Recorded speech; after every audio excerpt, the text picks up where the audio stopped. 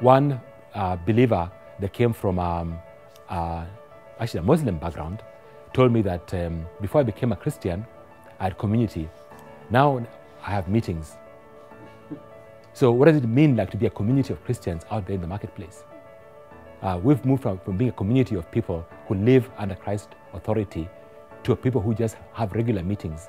And the meetings seem to take us away from our engage, engagement with the world rather than equipping us to engage with the world in ways that transform the world.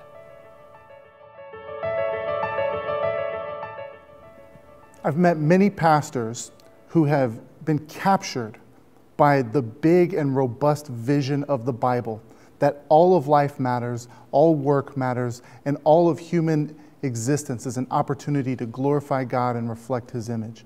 The theology that we've been talking about throughout this series. But it's often challenging to know how to develop the skills to disciple your people well in their vocations and occupations.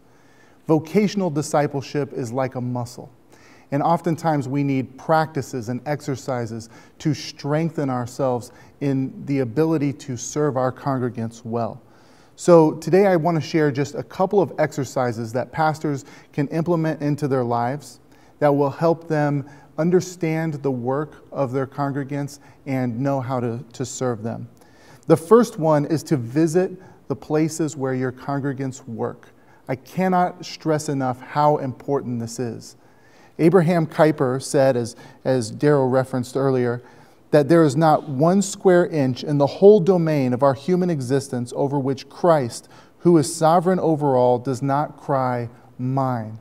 And therefore, the offices and the workspaces that are occupied by your, the people in your congregation, those places are are holy places, that they are places of holy ground, whether it's a dentist office or a gas station or a hospital or a park. And it encourages those in our congregation when we visit them and leave the doors of our church and go to their place and take a posture of a learner.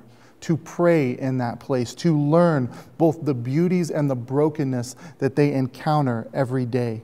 We affirm them when we visit them and tour their places of work, and it helps us understand them.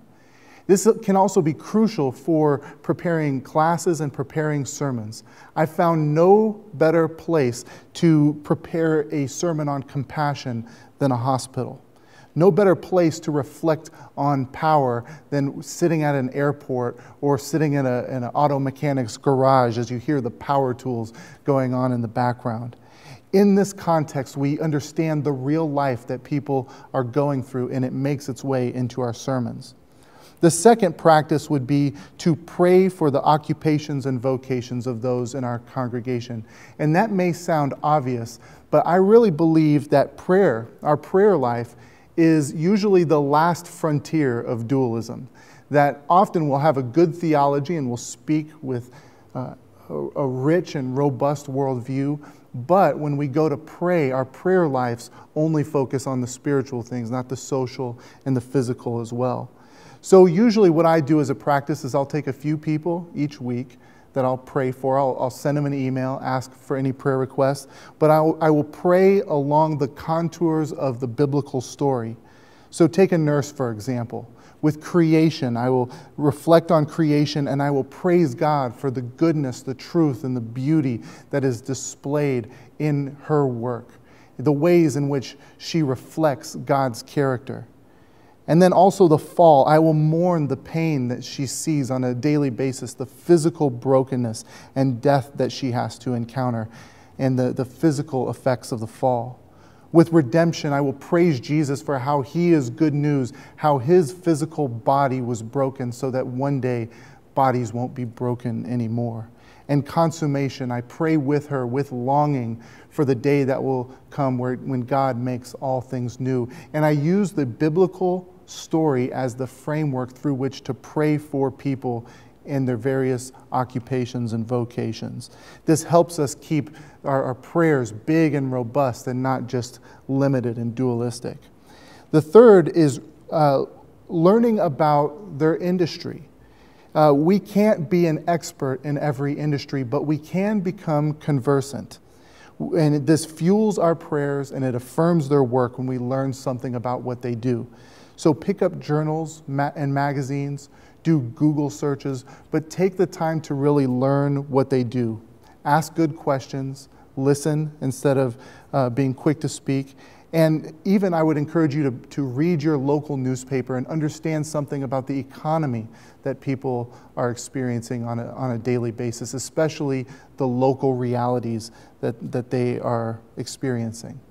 Number four is learn from other uh, institutions and organizations and churches that have already uh, are already implementing this in their churches or teaching in some very rich ways. To name just a few, one would be the Made to Flourish Network, which is a, a, network of churches who are really committed to faith work and economics and discipling their congregations to think deeply about that. The Washington Institute for Faith, Vocation, and Culture, uh, the Redeemer Center for Faith and Work.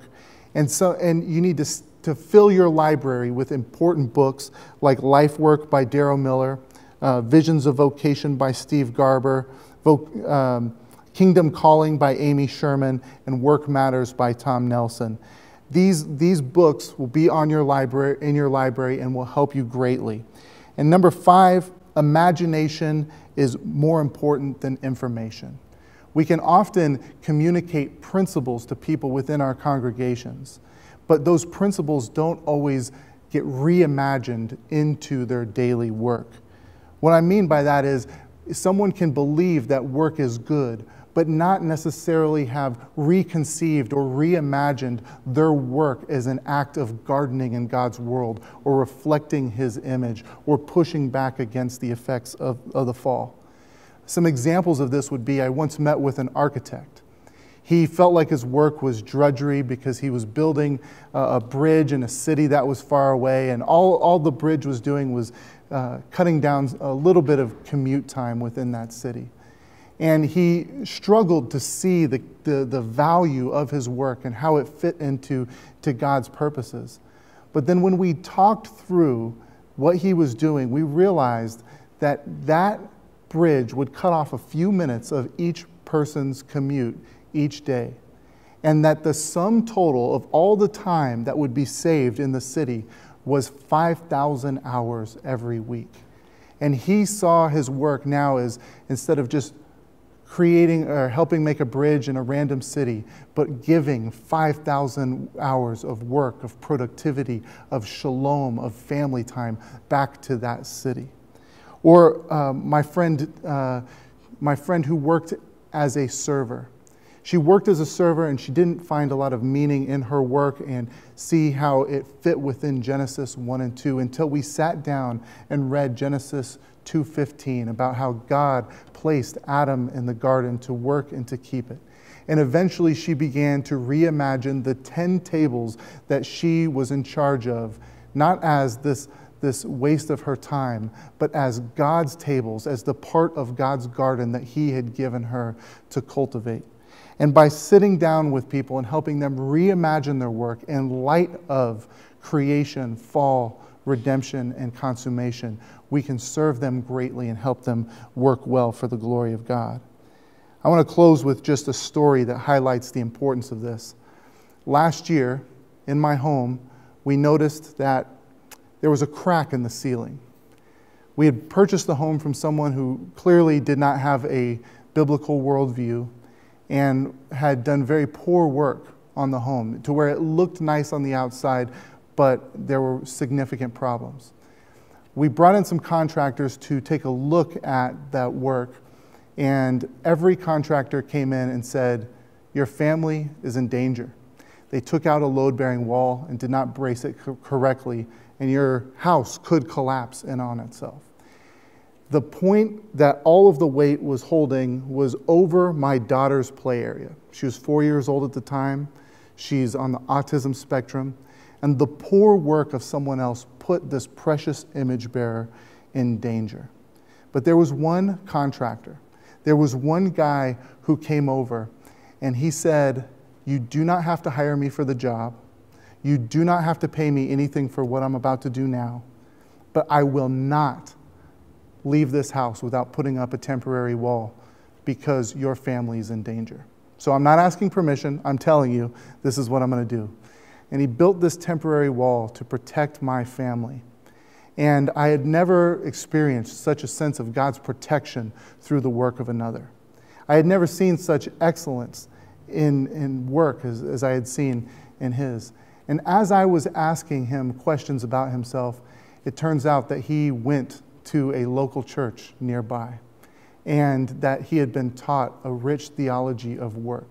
And it was his commitment to Christ and his commitment to protecting the lives of those who reflect God's image and of doing his work with excellence, which made him do that that day.